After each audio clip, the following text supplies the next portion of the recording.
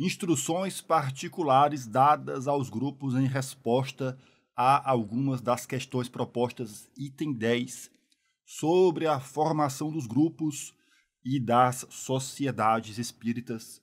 Vamos dar sequência na leitura desse artigo. Vejamos o que vai ser dito aqui em seguida. Mas antes disso, eu quero lembrar a todos para se inscrever no canal, caso não sejam inscritos, para curtirem esse vídeo e para deixarem um comentário aqui embaixo. Vamos lá para a leitura. Excluir delas as mulheres seria injuriar seu julgamento. Allan Kardec está dando uma série de orientações, de sugestões a fim de que reuniões sejam implementadas sobre a formação de grupos de reuniões. Excluir delas as mulheres seria injuriar seu julgamento. Então, Allan Kardec está aqui se posicionando a favor da inclusão das mulheres. Se se faz necessário Allan Kardec colocar a coisa dessa forma, a gente já percebe que àquela época havia uma resistência muito grande às reuniões contarem com a presença delas. Portanto, Allan Kardec insiste justamente valorizando a participação delas como ele faz logo nessa frase inicial, na qual ele até dá uma alfinetada. Vejamos o que ele disse. Excluir delas as mulheres seria injuriar seu julgamento, que, seja dito sem lisonja, seria capaz de desafiar o de certos homens, até mesmo de certos críticos letrados. E aí ele continua enfatizando o quanto a presença delas é um elemento que contribui, exatamente pelo que ele diz, a presença delas pede uma observação mais rigorosa das leis da urbanidade e proíbe o desleixo das reuniões compostas exclusivamente de homens. E aí Kardec segue na pergunta: ademais, por que privá-las da influência moralizadora do espiritismo? E aí a gente lembra que essas reuniões são reuniões de estudo, são reuniões onde os espíritos participam, onde os espíritos provocam participam dos debates provocando reflexões, e essas reflexões têm por finalidade, de alguma maneira, é, nos levar a uma conduta diferente. Portanto, seria essa a influência moralizadora em razão das reflexões filosóficas provocadas a partir do contato com os espíritos. E aí Kardec coloca: por que privá-las disso? Não faz sentido. E aí ele coloca: uma mulher sinceramente espírita só poderá ser boa filha, boa esposa e boa mãe de família. É claro que a gente vê Allan Kardec ilustrar os papéis exercidos pela mulher a partir da visão que se tinha da mulher na sociedade do século XIX. Ele ilustra dessa forma uma boa filha, uma boa esposa, uma boa mãe de família, o que na verdade seria a mulher também ser uma boa pessoa. Vejamos. Então ele diz: por sua posição mesma, com frequência, ela tem mais necessidade de sublimes consolações do que um outro. Ela será mais forte e mais resignada nas provas da vida, entendendo a mulher nos papéis até então aceitos pela sociedade como sendo os dela. A gente observa aqui que Allan Kardec já supõe a mulher sofrer mais, e muito desse seu sofrimento vem em razão de uma desigualdade que é o que Kardec vai colocar logo mais à frente. Então, o texto continua dizendo que, de resto, não se sabe que os espíritos têm sexo apenas para a encarnação. Essa pergunta coloca em xeque todos os preconceitos que havia à época, havia à época, já existiam antes e perduram até hoje, diga-se de passagem. Portanto, a régua moral passa a ser espiritual.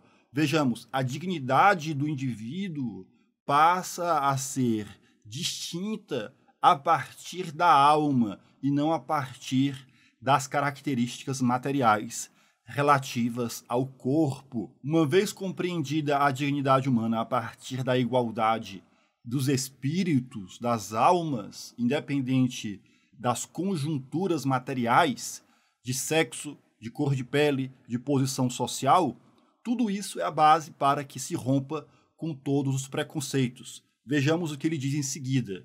se a igualdade dos direitos da mulher deve ser reconhecida em algum lugar, se a igualdade dos direitos da mulher deve ser reconhecida em algum lugar, certamente deve ser entre os espíritas. E a propagação do espiritismo apressará infalivelmente a abolição dos privilégios que o homem se arrogou pelo direito do mais forte. Com base no que nós acabamos de ler, eu coloco a seguinte pergunta: o que Kardec coloca em relação à mulher se aplica também, por exemplo, à pessoa negra? Se aplica, porque na verdade a compreensão de igualdade proporcionada pelo Espiritismo tende a abolir todos os privilégios daqueles que se arrogam pelo direito do mais forte. Ao lermos isso, a gente passa em revista aqui uma série de situações sociais que a gente observa no nosso dia a dia que se dão em razão de privilégios daqueles, atenção, privilégio daqueles que se arrogam pelo direito do mais forte, aqueles que podem mais, aqueles que detêm mais poder, aqueles que se colocam numa condição de superioridade em razão àqueles que podem menos. Superioridade essa que dá condições para que seja exercida uma exploração subjugando os mais fracos. Não foi à toa que um pouco antes Kardec disse: olha, para a mulher, a influência moralizadora do Espiritismo irá lhe dar condições de suportar as provações da vida em razão do sofrimento que experimenta em função do papel que ocupa na sociedade. Papel esse condicionado em razão do homem que se arroga pelo direito do mais forte em relação à mulher. Mas é claro que a ideia do espiritismo tende a abolir os privilégios de todos aqueles que se arrogam pelo direito do mais forte, não só do homem em relação à mulher, mas como dos brancos em relação àqueles que têm a pele negra, assim como dos ricos em relação aos pobres. Toda a ideia de privilégio daqueles que podem mais, daqueles que arrogam para si privilégios em relação a uma maioria, tudo isso é incompatível com a ideia espírita, com a noção de igualdade que o Espiritismo nos desenvolve a partir da compreensão de quem nós somos, de onde viemos, para onde nós vamos.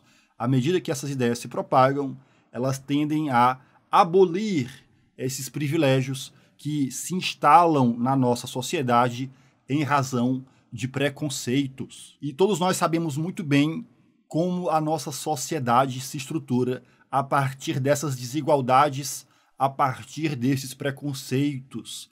Desigualdade essa que interessa a alguns, que interessa aos poderosos. Portanto, o espiritismo ele vai de encontro aos interesses dos poderosos em razão de como a sociedade se organiza, sempre colocando uns subjugados em relação aos outros, seja a mulher subjugada ao homem, seja a pessoa negra sendo explorada, seja o pobre sendo sacrificado. Tudo isso vai de encontro à ideia de igualdade proporcionada pelo Espiritismo. Por isso, não faz sentido entender que o que foi colocado aqui se restringe apenas à abolição dos privilégios do homem em relação à mulher, porque a ideia é de igualdade em relação a todos. Não faz sentido que a abolição dos privilégios seja apenas dos privilégios masculinos, mas todo e qualquer tipo de privilégio em razão dessas desigualdades verificadas a partir da condição material entre os indivíduos. Como nós lemos, a propagação do Espiritismo apressará infalivelmente a abolição dos privilégios que o homem se arrogou pelo direito do mais forte. O advento do Espiritismo marcará a era da emancipação legal da mulher. Pelo menos era essa a expectativa que Allan Kardec tinha no que diz respeito à emancipação da mulher, o Espiritismo não contribuiu da forma que Allan Kardec imaginava. Essa emancipação legal se deu a partir de muita luta. Aliás, emancipação que depende de uma luta que continua até os dias de hoje. Mas, sem dúvida, quando Allan Kardec coloca as coisas dessa forma, ele dá a sua contribuição exatamente mostrando em que sentido ou de que maneira o Espiritismo compreende a mulher a partir da dignidade humana compreendida pela alma e a igualdade que se dá em razão do espírito. Bom, era isso que nós tínhamos para falar em relação a esse texto. Até uma próxima oportunidade. Valeu!